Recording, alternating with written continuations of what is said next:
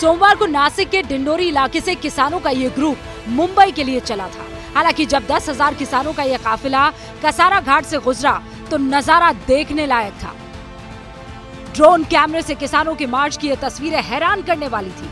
ये किसान इसी तरह संयम के साथ सफ़र करते हैं। रोज़ाना 25 किलोमीटर पैदल चलते हैं और आगे बढ़ते हुए अपनी मांगों के समर्थन में नारे लगाते हैं।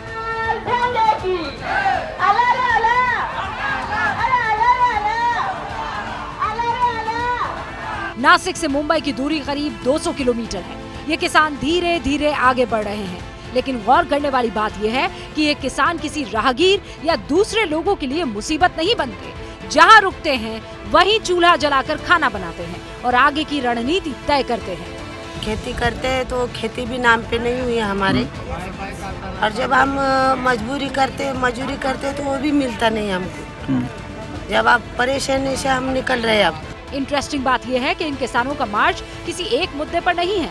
ये किसान आदिवासियों को ज़मीन का हक प्याज पर एमएसपी और कर्ज माफ़ी की मांग कर रहे हैं। आज किसानों को आज दो रुपए और तीन रुपए का दाम मिल रहा है प्याज के पीछे। अगर खर्चा ही नहीं निकलेगा तो बेचारा किसान क्या करेगा? ये सवाल है। आपको ये भी जानना चाहिए कि करीब करीब हर साल नासिक से किसानों का ये मार्च शुरू होता है। कई दिनों के सफ़र के बाद मुंबई पहुँचता है और इतमान से अपनी बात सरकार के सामने रखता है। इस बार भी अखिल भारतीय किसान सभा और भारतीय कम्युनिस्ट पार्टी की अगुवाई में मार्च निकला है। किसानों को 20 मार्च को मुंबई के आज़ाद मैदान में प्रदर्शन करना है।